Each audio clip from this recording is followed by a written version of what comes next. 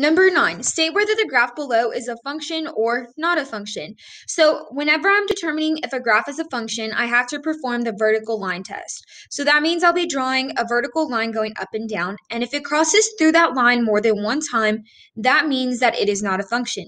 So if I go ahead and draw my line here, it passes through this graph one, two, three, four, five times. That is telling me that this is not a function. This failed the vertical line test.